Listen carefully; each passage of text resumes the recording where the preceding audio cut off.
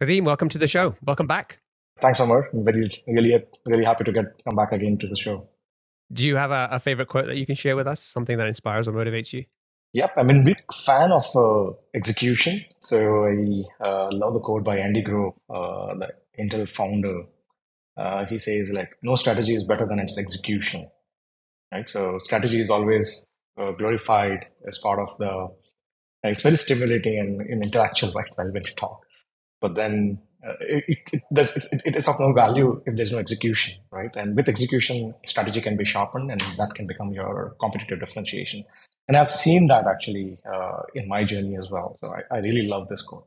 Great. So for people who aren't familiar with Whatfix, tell us what does the product do, who's it for, and what's the main problem you're helping to solve? Yeah, so I think it's been seven to eight years now in the journey, uh, Umar. So when the problem statement has evolved, uh, the way we have seen it. So if I have to explain this uh, today, there is like $700 billion worth of enterprise software sold every year.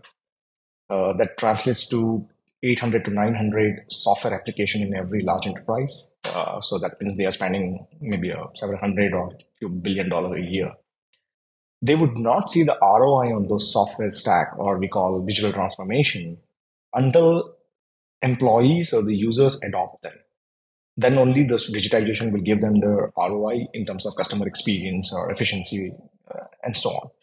Now, the adoption of the software is very crucial here, and that's what we help. We create a layer of adoption on top of the underlying software stack, which handholds the user step by step, helps them to complete any task, ensures the process compliance, gives them the nudges uh, on the need basis, and uh, it ensures that uh, employees are engaged and enterprises see the ROI. So it's a new category called digital adoption solutions, and we are one of the pioneers there. Can you give us a sense of the size of the business? Where are you in terms of revenue, customers, size of team? Yeah, so we we, we are uh, close to 850 people globally.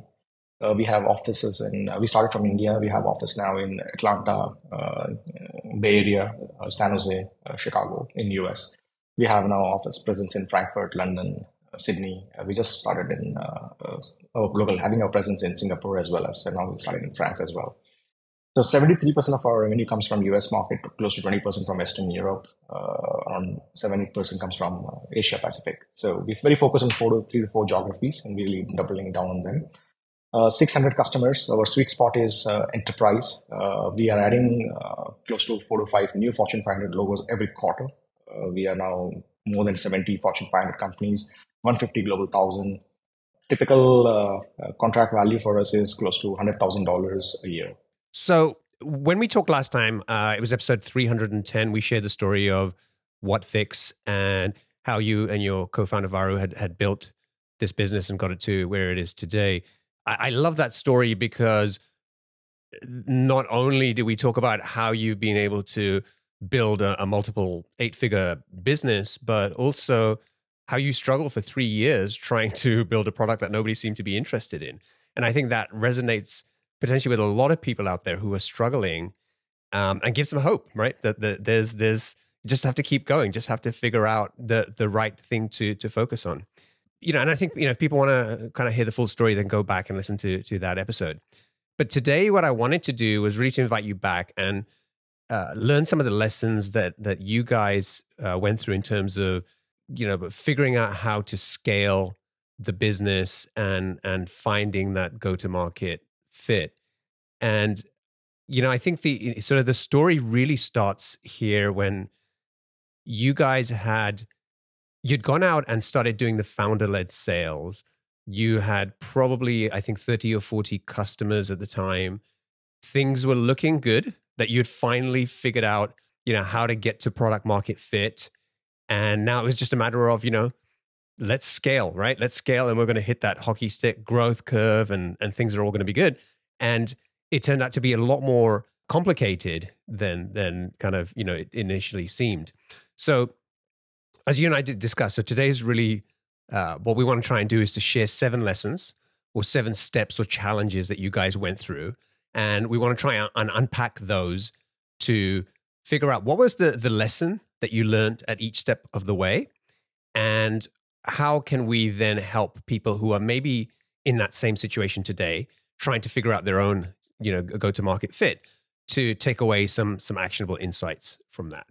So why don't why don't we start with the you know maybe you can just sort of set the scene where, where you guys were when you sort of had those 30 40 customers and where you felt you needed to go next but uh, things weren't as straightforward as they initially seemed yeah so Umar, actually we are talking about seven to eight years uh, before today actually uh, we're talking about so we spent three close to three three years to get the product market fit uh, maybe we didn't have enough mm, learnings or podcast available at that point I feel people can iterate and learn faster and don't spend three years like what we spent.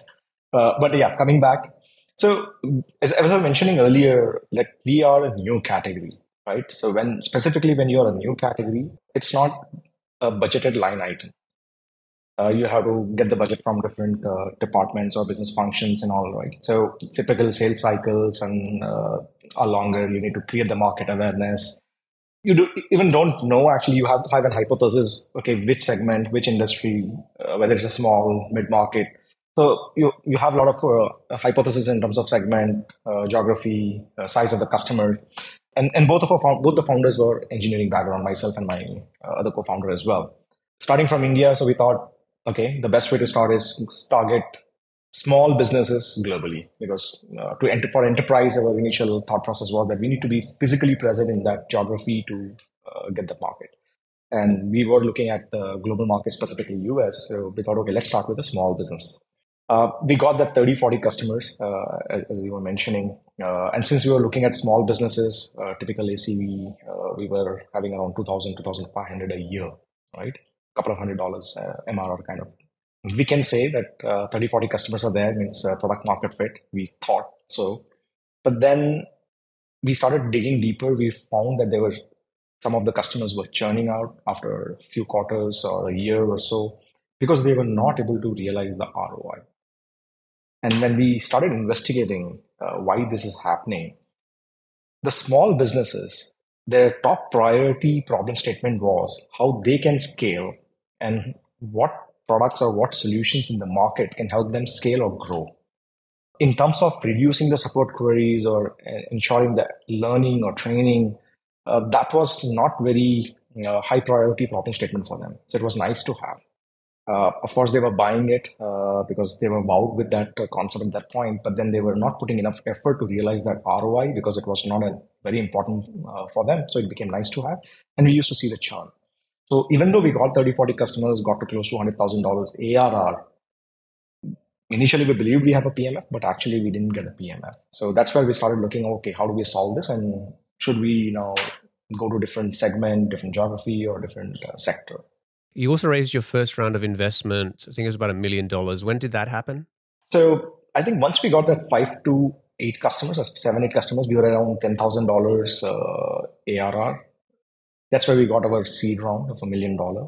Uh, because even investors, the problem statement, uh, they lo- they liked it. They saw that we have a, five to seven customers are paying us, so this can be scaled. Uh, even we had a decent hypothesis, so they backed us. So that was at that point.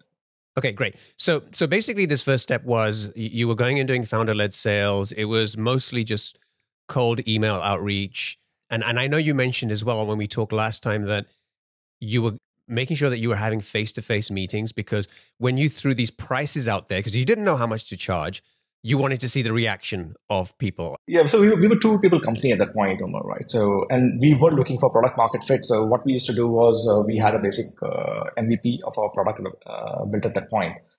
And my co founder used to collect uh, 30, 40 email IDs every day uh, from us, uh, small businesses, their founders, their senior folks.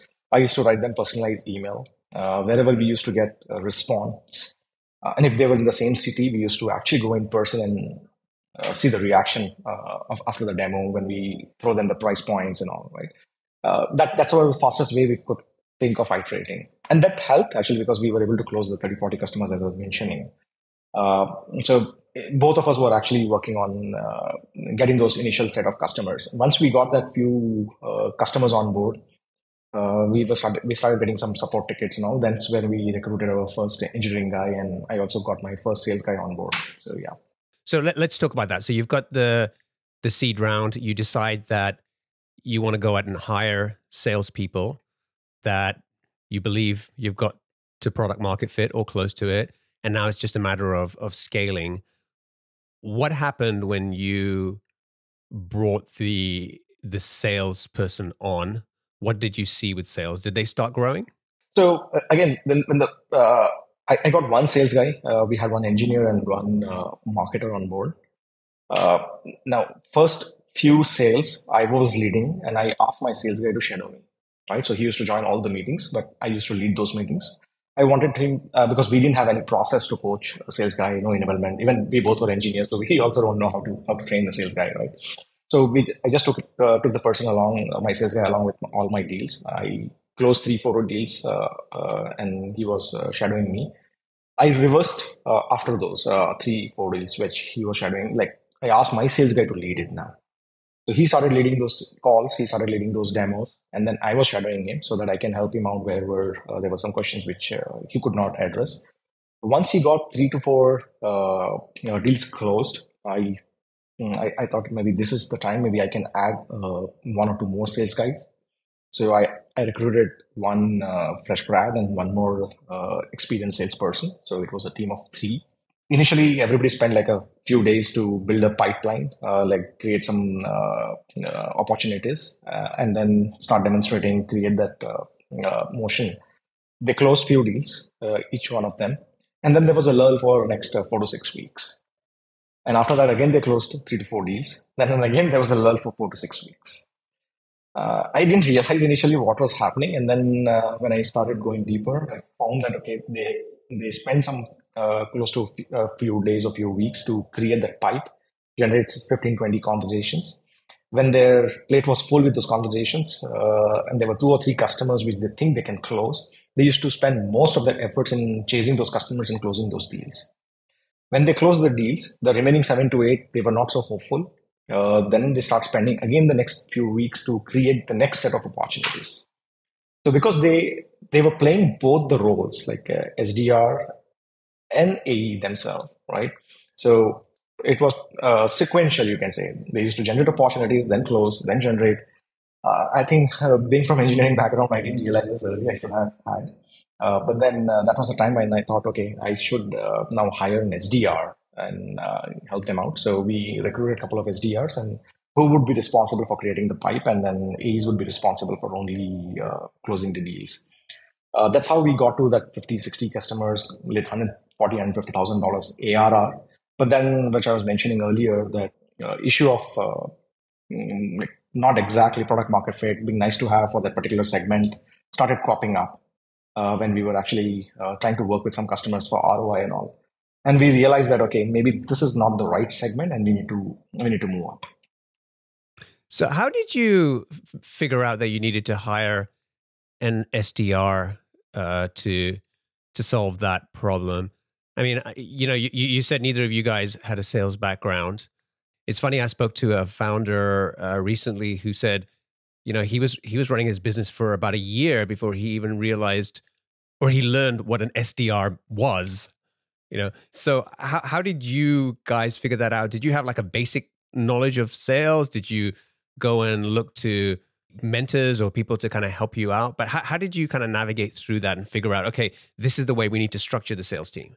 Yeah, so actually, uh, uh, when I when I saw this pattern of uh, like one month things were not working out, another one another month we had some deals coming in, I took this problem statement to uh, my investor who had uh, written me seed round, right? To and my seed investor was actually back uh, had a background of sales operations in in large company prior to that before he became VC. So he immediately diagnosed this problem and he said, "I think you need an SDR." I asked him, what does an SDR do and how does it work? Uh, then he started explaining and he actually uh, told me the uh, uh kind of a sales process, what actually would, should evolve for us.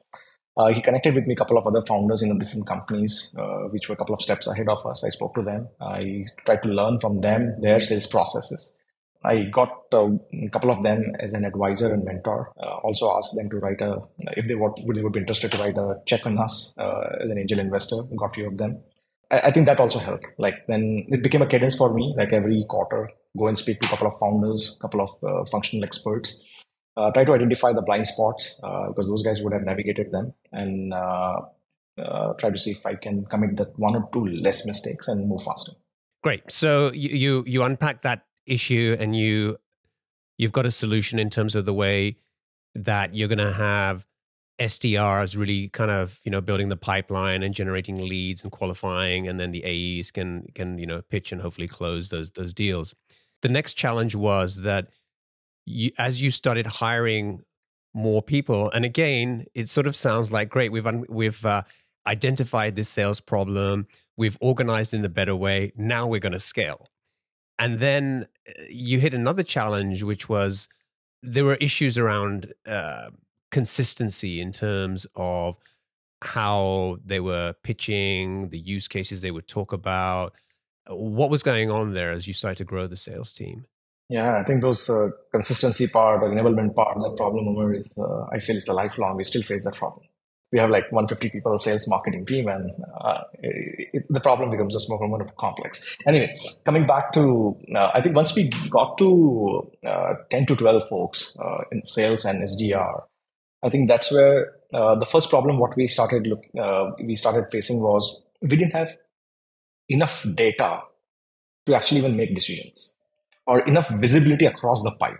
So first thing was we had to define stages of the sales cycle. We had some crude definition. We had to more uh, put it in place and start using some CRM. Uh, we went for Pipedrive at that point. So different stages. What is the movement across different stage? What are the drops? What's the conversion rate? Once you have that kind of data, I think it becomes easier to even actually make some decisions. It's easier to identify the bottlenecks and actually start training people. So I think the number one gap was actually we didn't have those visibility. So again, uh, some of the mentors, some of the advisors helped me saying, okay, you need to start collecting those information, define those uh, gates and uh, stages very clearly, and get those uh, uh, metrics metrics in place. We found that okay, for some AEs, the movements across stages happens more in a much better way. For some AEs, they get stuck in POC. Some are getting stuck in uh, security. So it, it like some some some of them are good in demo uh, because they figured out the wow, they figured out the how to discover the problem and actually uh, address with what fixes the solution. Some of them, uh, but when they move forward, maybe they were uh, because they were not from a, non-tech background, so they were they were getting confused when information security discussions comes in. they were not so comfortable maybe on the deployment questions actually, like how this will get delivered, how this get deployed some of the guys who are coming from a little bit tech background because there are a lot of uh, uh, sales reps which are tech engineers with an MBA, right? So they were comfortable on the tech part, but that sometimes they are not comfortable with with their demo consist, uh, demo pitches. So we started identifying this problem statements, and we realized that okay, I think the problem is we need to have that clear data. Based on data, identify those gaps. Based on those gaps, actually start training and enablement. So uh, I think at 10 to 12 people, we started finding this gap. And as we started scaling, this started, uh, uh, initially it was done by my sales manager, my, myself personally, my other co-founder. And as we grew, like today we have a sales enablement team of around six people. Uh, we have a sales operation team of around seven, six, seven people. So uh, we have a, separated out our sales engineering, sales consultant, who are experts in information security, uh, creating the pitches, creating the demo, doing the uh, proof of concepts. Sales guys are now more specialized for holding holding the room, uh, doing the discovery, identifying the sales process, and, uh, and moving the deal, doing the closure. So there are specializations have come across the company, and each each specialization now people know that they have to go specifically in this particular part. They need to answer everything, and for them we have created the training we have identified all the courses and modules. So gradually it evolved, but the first enablement, first uh, person would be the founder along with sales manager if it's in place. Yeah, so uh, that problem started uh, when we were actually we crossed ten people. And and it sounds like, as you mentioned, it it happens as you keep growing sales. It still keeps keeps happening. Is it? Yeah, it's it happens today also. Like I think my every every few days, this discussion comes back to table again and again and again, right? Like today we are uh, uh, evolving ourselves from single product to multi-product company. Now can i enable all the sales guy for those different two different products? Should i enable only few guys and see? Should i have a sales engineer specialized engineer for product one product two? So there are so many questions which we need to answer. How do we structure this now as an organization right?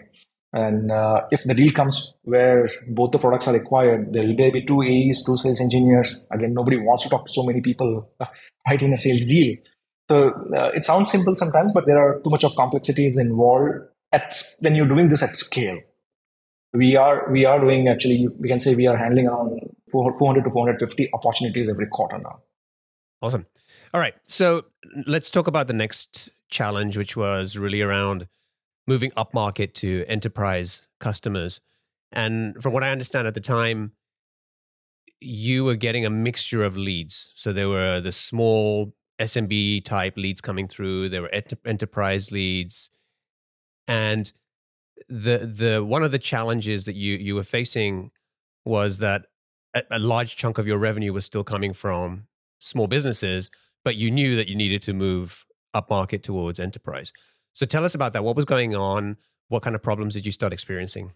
So, so the use case what actually started evolving was actually if the product is more complex, uh, Whatfix would be a best fit when the product is complex and there are more number of users on top of it. Now, if I look at CRMs or ERPs, they're pretty complex uh, applications. And if I look at any company which is let's say 50 people team and there are only 10 sales rep and they are using a crm even though if it, it, it might be dynamics or saps or salesforce those 10 people would work together and they may not need that kind of handholding which i would provide uh, via whatfix but now imagine there's three different geographies there are 200 sales guys they are using a crm along with cpq clm now solution is now pretty complex any change in the process any change in the compliance uh, 200 people to be trained making them adoption, uh, uh, making them adopt those uh, uh, process or features, it's hard, right? Uh, and nobody wants to read emails or training manuals and all, right? So it, it's it, it became very natural for us that as the number of employees increase, the fitment would be better. And by the time we had a couple of customers where we saw that there's a clear ROI and there was a high high paying capacity because they were they were willing to pay much more for this problem. But since uh, we were, let's say, quarter million kind of an ARR, to fifty thousand dollars, and then 200,000 or 220,000 coming from small businesses, it's like going back to 20, 30K ARR if I dumped all the small businesses, which was actually paying some of our bills, right?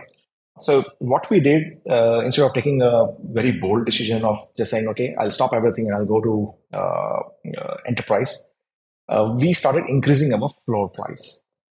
So instead of $2,000, which we started with a year, we said, okay, now we're going to do $4,000. We're not going to entertain any deals below that so that whoever is not able to pay, they'll churn out.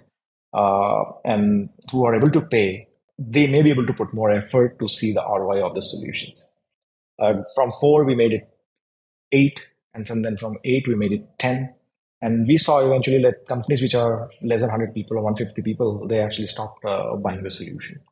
And gradually we had customers mostly with 150 200 employees to 1000 which became our uh, small to mid market or emerging market what we call and more than 1000 employees started becoming our enterprise and more than 5000 became our larger enterprise so that that's how we did we gradually started uh, increasing our floor and uh, started moving up in the market.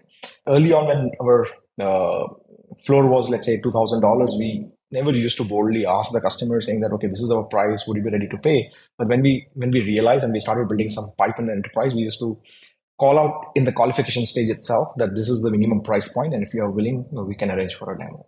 So uh, that's how we started filtering more and more strictly uh, and we started moving more and more up market so today if i have to say close to 95% of my revenue comes from 1000 plus employee companies and remaining 5% would be between uh, 200 to 1000 people. How long did it take you to make that transition from being in the situation where you're getting a mixture of leads to a point where you say, no, we are we are definitely focused on enterprise customers. We've made that transition. How long did it take? And in hindsight, do you think it was still the right approach or could you have got there faster? Yeah, so it took me 15 to 18 months actually, uh, because we were also not very confident how to generate enterprise leads. So cutting off uh, that small businesses uh, would have actually crashed our revenue. And we didn't know that the new funding would come in, whether I'll be able to generate enterprise leads. Uh, we thought we'll buy some time. So it took 15 to 18 months. By the time we were able to figure out our enterprise play, uh, we got the product uh, to it We got uh, participated in few events. Uh, we bounced off our solution, identified the use case, I think crystallized our messaging, what would actually resonate with enterprise customers, fix some of the information security or deployment issues, what typically enterprise customer would look, but not small businesses won't matter. For, for them, it won't matter. Get some certifications in place like ISO, SOC 2. So it gave, gave us a time. Given a choice, uh, in hindsight, if I have to say, maybe if I would have directly moved all my resources to focus on enterprise customers, it would have helped me to crash, uh, uh, maybe save maybe four to six months, definitely. But again, uh, that at that point, uh, I had to balance out between cash uh, uh, revenue coming in versus speed of moving to enterprise. Today, it sounds I should have done maybe the latter one directly move to enterprise faster. But yeah, anyway, I think we have we have landed here, so all fine. Yeah, and and totally. And there's so much uncertainty at the time. You don't know if you're going to be able to to move up market, how much you'll be able to charge, and and so on. I'll tell you one story actually, Omar. Like, so I was in, in one of the events. Uh, I, I feel it was Dreamforce uh, event in 2016. We were uh, averaging our price points were three or four thousand dollars a year at that point, right? And uh, we were validating our enterprise play. One of the enterprise customers VP dropped to our booth. We gave them the demo. He was wow. Okay, this is this is great. I have uh, uh, one of the ERP solutions with 700, 800 users. What would be the price? We were so used to telling 3000 4000 we said okay we'll tell the higher price let's bounce off uh, $8000 you know the person said okay 18 to 12 96000 that looks fine you know we were, we were we were so scared that okay we were trying to say 8000 a year he thought it was $96000 a, a, year uh, 8000 was $8000 a month right? So that's when we started learning like okay the enterprise uh, price points and the value and it's quite different actually and yeah i, I want to talk about that because you have another great story about pricing with enterprise that that i, I want to cover. But uh, before we get into that so so you you you make the transition to enterprise and now it's like yeah now you'll be able to scale right everything is is kind of falling into place you got the sales team you know who you're targeting but then you you also had to face uh, uh, some challenges around how to segment the market. Like you were now selling to customers worldwide. You had different markets to to prioritize. You were still at the time still selling everything from from India to to customers around the world. So t- tell us what was going on there at the time, and, and again, what what problems started to emerge from that. Yeah. So what happens when you when you are selling it remote, and when you're relying on inbound as a channel, you would get leads from across the world. Like you might get a lead from South Africa, and then the next day you might get it from France or Germany, and then from Australia. And you have three to four sales guys. You're not divided them into geographies. Uh, same guy is actually working in the morning, giving a demo to Australian customer, and then evening we are expecting him to give to someone else. And, and imagine the same thing with SDRs or later on with the support and engineering when they have to do some quick fixes, right? So operationally, it becomes a nightmare. Uh, this was a good part. We realized pretty early on uh, that it's not possible to actually manage multiple geographies with a lean team. Uh, it won't be efficient and it won't be right. So we thought, okay, since we are in India, if anything comes from India, we'll entertain. But apart from India, we'll just focus on one geography. And uh, naturally, it was US. So we aligned our team like uh, 60 70% of our sales marketing uh, customer support we aligned that everybody would be working in shift they would be starting at 5 p.m in india time continue till 2.33 a.m and uh, engineering and some other guys would be in the day and maybe one of the sales guys uh, would be working. Even i changed my time zone. That actually helped us operationally because otherwise somebody sends an email uh, a potential customer from us sends an email at midnight 12 nobody responds. Next day we respond in the morning like it's like 36 48 hours lag and that's very bad customer experience. So I, we realized pretty early and when we, when we operationally we change all this uh, it helped and any other lead coming from other geographies it used to be nice to have one of our daytime sales guy would respond if it comes in closes fine if it doesn't close no need to fret too much about it but any deals from us or india we should address it with up, utmost uh, customer and gives rock solid customer experience and sales experience. So that was the first choice we made. The second, uh, after US, of course, more leads were coming in from different parts of the world. So we, again, the question was like, where do we expand more? So we thought, okay, let's continue to doubling down on US market. So my co-founder relocated to US. Uh, we hired a couple of local folks. So he used to double down, going to customers if there was a FaceTime required or giving an in-person demo, a customized demo, do some POCs. Uh, so we started having some physical presence uh, in, in the US geography. And since English was again the language which which was uh, comfortable for us. Uh, any other geography where there was ex- there would be an expectation of supporting different collaterals in different language or support in different language would be again we thought it would be operationally very hard to pull it off in early days. So we thought, okay, let's now focus only on UK after US, which is again again an English speaking country. So after US, we thought UK and UK also one of the other reasons would be it the time zone also matches very well with India right? So they start around 1 p.m. or 2 uh, p.m. India time. And then if I am there till 10, 11 in the night, I think we cover the Europe time zone, not primarily UK time zone. So UKV was the next one. And then we, after a year or so, we hired a couple of folks in UK. We transferred one guy from India as well. Third one, we thought, okay, after uh, US, UK, India, then we thought, okay, let's continue with English. Let's not do more of any other language yet. We start, we started getting some customers from Germany, France, different countries we were supporting English. We were losing some customers because of the language issues and other stuff. No, not local presence. But again, we were very clear that's nice to have for now. Let's focus where we can actually use our existing website, existing collaterals. So we started focusing on Australia. And when the time came, okay, now we have to further double down, further uh, scale up uh, in terms of geography. I thought, well, now it's time to experiment the first non-English country. So we uh, narrowed down on Germany because we had by then only seven, eight customers in Germany. So we also had built muscle by the time in terms of company. We were 300, 400 people. So we did some six, seven people local hiring, use of our existing customers, created a complete collaterals in that language, and we doubled down in Germany. And that became a playbook, right? It worked really well for us. And now it becomes that how I can replicate that for other geographies. Maybe if I would do for French or to do for Japan. So that's how that's that's what the approach Omar actually to resolve the operational challenge which would come, to resolve the cultural or language barriers which we would face. So that's how we navigated. It and some of those decisions I feel were still, uh, I, I, would repeat the same way. And then, and then, what happened when you made those changes? How how did it affect sales? How did it affect your uh, your go to market? So yeah, it, it worked well actually, right? Like uh, uh, if, if, if, if because since we were really focused well on initial days on US, the number of the number of logos which we collect from a from a specific one geography that helps actually to build the trust to help helps that helps to build uh, some kind of a uh, word of mouth or virality within that particular industry or particular segment. So when we used to go for a event in the us or let's say Dreamforce or some other event we used to have five six customers visiting us in our booth and a few other guys were potential customers. We used to make them handshake saying hey man just meet this guy. He's been using us for a couple of years. So I think that momentum builds up you can focus on PR, you can focus on your uh, branding, everything in one or two geographies, right? You can't spread too thin. So that helped us to really build very solid momentum in actually US. And I was mentioning earlier, like today also like 70, close to 75% of our revenue comes from US market.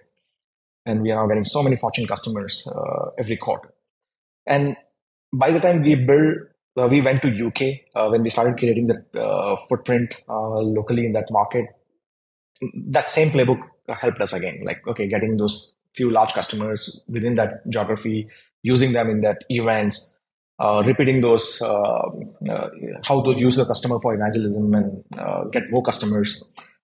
And then we did the first time we did that a couple of years back for germany uh, for a non-english language. So i think those learning those playbook uh, once it establishes it's very it becomes very easy to replicate it afterwards Okay, let, us talk about uh, the the next challenge you faced, which was around pricing. Now, th- this was this was something that we've talked about, you know, from from the early days to going and talking to small customers and and trying to see, you know, the, gauge the reactions and see what they're willing to pay. To that story you, you shared about the the enterprise customer coming seeing you at the booth at the event. There was a large uh, enterprise customer in in the U.S. that a deal that you looked really promising, but you ended up losing, and and a lot of that was, from what I understand, down to the way you priced that or the the quote you provided. Can you can you tell us about that? Because I think that's a great story. Yeah, so uh, so early on, actually, uh, we were pricing based on some assumptions what we had in terms of how much somebody would pay for it because we didn't have a very hard ROI uh, value uh, parameters. Uh, but the best best way we learn over a period of time is like, okay, what kind of a value we provide to customers and actually price it accordingly. So if you are on a, let's say if I am demonstrating a customer set of features, and then I say, okay, I'm going to price you X. So the customer is actually evaluating me as a tool um, because it's they're just just buying some set of features.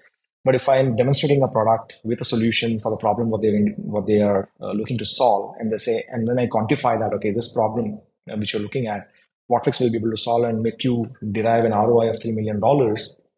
I'm sure the person is not expecting in the next slide that I'm going to say three thousand dollars as a customer as a, as a price point, right? I can actually even price it at quarter million or three hundred thousand dollars because you're setting that uh, uh, value. So that, that's how we evolved uh, uh, ourselves as well. But coming back to that story which you were referring to, so we were talking to one of the largest banks in states. Uh, very early on, uh, I think we hardly had a couple of uh, enterprise customers uh, at that point. we didn't want to lose that deal. Actually, it's not like we wanted to win that deal, right? So you, you become too defensive. they wanted to use Whatfix on, I think, ten to fifteen thousand sales sales reps on a CRM we had by then only sold Whatfix max on 1,000 seats uh, on a CRM. And they said, okay, uh, for us, it was like an unlimited license on, on, on a CRM. So we priced it around $70,000, $75,000. Everything was going fine. Three, four rounds of discussions, demos. We built some champions. They were saying, man, tool looks awesome. We have tried it. Everything looks fine. Give us a quote. And then we, after getting the quote, we never heard back uh, we thought, man, we, we, I think we gave too much price. We should have given 25k instead of 75k. Yeah, so, so you thought you had over, you had charged too much. Yes. And then uh, fast forward a year down the line, we hired a, a head of sales in in, in US. Uh, he joined. He was going through our CRM. He said, "Man, why did you lose this particular deal? Because I know a friend uh, who is who is a VP of sales in this particular bank, any reason. So uh, we said, yeah, I think we priced high. He said, okay, let me find out. He gave him a call. He called me back a couple of days later. He said, I spoke to him. He said, boss, I had two quotes on my table. One was around $300,000, $400,000 and one was 75K. I've spent like tens of millions of dollars on my CRM. I don't know whether this company can even support. They don't even know what it would cost to hire one customer support person in US. I need a partner who would be long term with me, not someone who would not even survive after six months, a company which would not survive.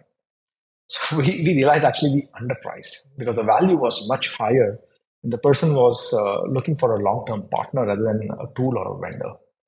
That was, that was a really a good lesson to learn. By the way, Omar, last quarter, we won that customer back. Nice. Nice. That's a good ending to that story. Love it. Yes, so I think we, we spoke a year back. I think we didn't have this customer, and they came up uh, early this year. They were not happy with the the different vendor, and now I think yeah, we price them the right way. You, you didn't charge them seventy five thousand this time. All right, great. So um, the challenge number seven was really about figuring out how to narrow focus. So you know we, we've talked about sort of taking this journey through building out the sales team figuring out how to uh, get more uh, consistency in in the way the sales process works, um, the pitches, the use cases, so on. Moving over to enterprise customers, and then learning to segment the market and some of the lessons you learned around pricing along the way, which uh, which help. But the the other thing was that, from what I understand, is that despite getting focused on enterprise and the US market and all of that stuff, you really still had a very broad use case on how Whatfix could work and what type of software or applications it could be used for. And that that was still creating I, I, assume that you especially as engineering guys you look at that and say well of course that's the way you want to build something right because then it, it has kind of universal appeal but that was creating a bunch of issues for you, right? That's right. So, so uh, let me give you some context. Actually, so initially we thought we we were, we were looking Whatfix as a solution which will help onboard, adopt any software. Now, when I when I look at this problem, the potential use cases can be I can help a product manager to onboard their end users. It can be B2C product manager for a bank portal or consumer software. It can be a B2B SaaS product manager who want to onboard their uh, SMB customers or enterprise customers. I can use Whatfix for onboarding adoption of an employee inside an organization on a third party software like CRM, ERP, or a custom software. Right now, this gives too many different variations. Like if I'm uh, if I'm using Whatfix on an e-commerce portal, if the e-commerce portal has a million hits every day, maybe few of them might use Whatfix, uh, maybe 0.5% or so. So what would I price? What kind of use cases they would like to have? Maybe they don't want Whatfix in every different buttons or pages. They might need maybe only in few areas, right? Uh, if I look at for B2B uh, SaaS product manager, they want to maybe use Whatfix to nudge and create more free trial to uh, conversion. But when I'm looking for uh, enterprise employee experience use case internal to organization, an operations guy or a CIO office or IT office want actually employees to adopt the process, be more compliant. And there are people like L&D. In, in the former case, there are product managers who are ready to customize, use Whatfix APIs, and uh, but they need some it to be very well uh, integrated with their underlying platform. But if I go into the later use case of employee experience, if I say, okay, there are 20 APIs which you need to integrate, they would start scratching their head. Okay, do I need to go to service company like Infosys, Accenture, or someone to get this customized? Because I, and L&D folks, or sometimes in a let's say large com- non-tech company or a manufacturing, they don't even know where the engineering guys are. So the product, when you start going deeper, the product starts evolving differently right? Initially, it didn't occur to us unless unless we started looking some of these use cases and started going deeper. Second, you cannot build your differentiations in all these use cases, all the market. You need to pick your battles, right? It, it occurred to us little also hard way. Actually, I was pitching to some of the investors for my Series B round, and I was mentioning all these use cases, and I was very proud that it shows a huge TAM and they asked like what's the differentiation in each one? Which you are stronger? I was trying to blabber around say okay we are doing this we are doing that. There are a few customers here a few customers here a few customers here. He the investor wanted to push me saying that okay pick one and go deep. Finally he asked me and i was not actually narrowing down. Finally he asked me one question. Let's see if i put a gun on your head. And asked you to pick one. Which one would that be?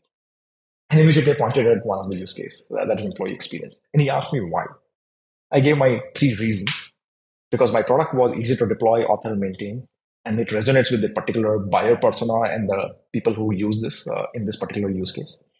We have a strong product differentiation as well, and we and the paying capacity of this particular category or segment is much, much, much way, way higher. He said, then you should do that. Actually, I came back, thought a lot, and said, yeah, that, that's the right thing we should do, and that's where actually we started pivoting. Uh, not pivoting, I would say narrowing down actually. Uh, I'll tell you one more uh, uh, case study here. So now, even in this particular case, I, I'm always been talking about adoption, learning, onboarding, training, right? So if I have to do a value parameter, I can always prove that, okay, I'm going to reduce your 40% of your support tickets. And if, if, if for a company, let's say if they're getting 1,000 support tickets, I can multiply by X number of hours or dollars, and I can show, okay, you're going to save million dollar, I can save you 50. I can charge you 50K or 100K for one application. Now, still it's a little horizontal within within employee experience itself, within internal. We further actually a few quarters back we started narrowing down even further. So we we, we didn't actually start going uh, like we came up with a different approach like T, like be horizontal for employee experience, but figure out some more niche. Now I'll give you an example. Like let's say if I'm going for a claims claims insurance, insurance claims actually uh, for property and casualty or life and annuity or something. Now instead of saying and I'm going to help you with reducing your support tickets or I'm going to help your employees to onboard faster. If I can tell them that I'm going to help you reduce your claims processing time. Now that's the business metric everybody's concerned in that particular department, business department. It's not only botheration of an enablement guy or operations guy, but even the chief business manager or a head of business line.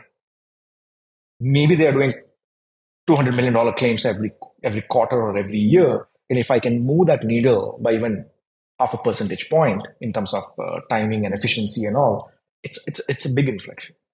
I can say, okay, I can improve your transactional NPS after every insurer which uh, provides you.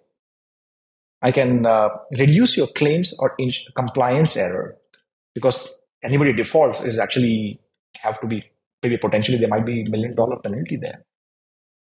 Now these are very hard business KPIs which I can influence.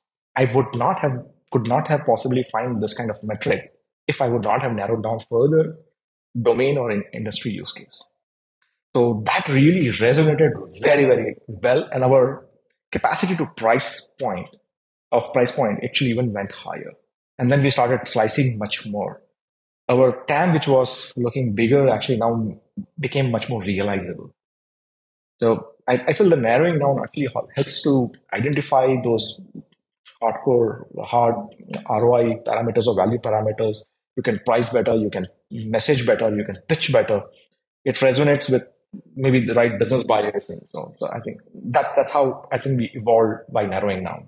Yeah, and it's such a difficult uh, decision to make when you're in the middle of it because you're looking at this this uh, landscape and you're saying, but the product can help so many industries, so many apps, so many use cases, and that that doesn't that show us that we have this huge opportunity, right? And if we then, you know, put 95% of that to the side and say, we're going to focus on one, one thing, one app, right? That feels like such a counterintuitive thing. It's so difficult. You, you, you touched on it a little bit, but just for someone who's maybe going through that and struggling to, to really narrow down, just what, what's some advice that you would offer them in terms of helping to take that leap and, and commit to, to one market or one use case? Yeah. So when, when you narrow down, actually, as I was mentioning, uh, your value parameters become crystal clear, right? As I was, I, I giving an example of that insurance use case. It's very easy to enable most of your AEs. It's easy to actually qualify your incoming leads because whatever you're telling them about the value and the solution, it resonates very, very quickly. So your sales cycle starts quizzing you are charging now 2x or 3x what you were initially thinking. Because you are able to enable and message position very well, your win rate goes up, maybe actually double sometimes. Now you are doing every activity much more efficiently and at a higher price point. So with a horizontal approach, it sounds that very jazzy that, okay, you have a large TAM, but then if your win rates are, let's say, mm, 15%, your price points are, let's say, 10K, imagine your price can point can go to 3x, 30K, your win rate from 15% becomes 40%. With even the less number of people, actually, you would accelerate and do much faster and much better.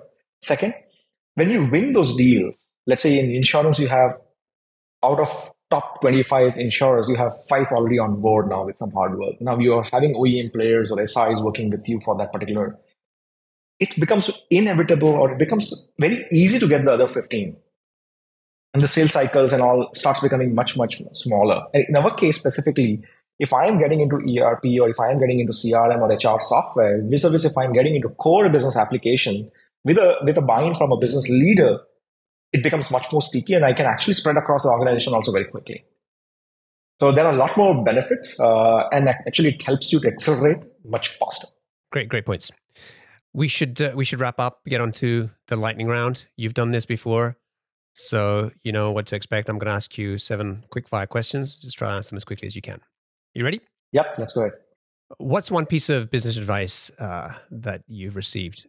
One advice actually which I really love, which I, I think I read in one of the presentations. Uh, I don't remember exactly, it was six, seven years back, which mentioned that never over designate people when you hire them.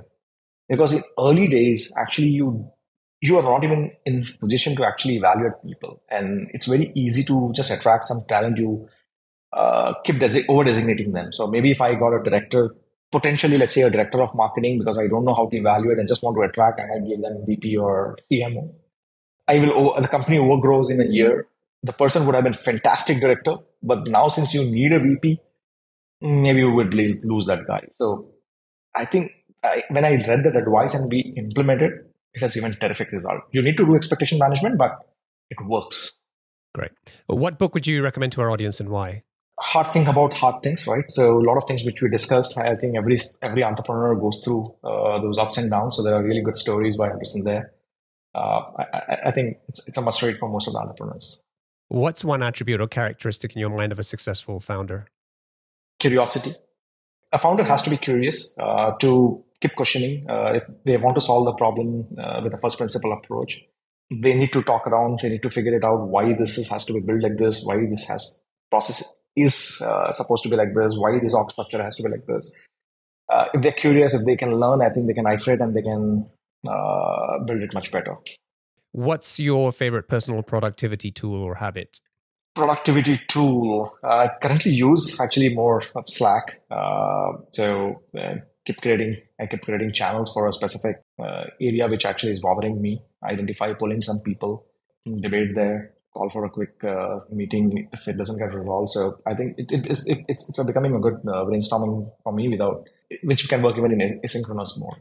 What what's a new or crazy business idea you'd love to pursue if you had the time? I would try to replicate what I'm doing in uh, AR.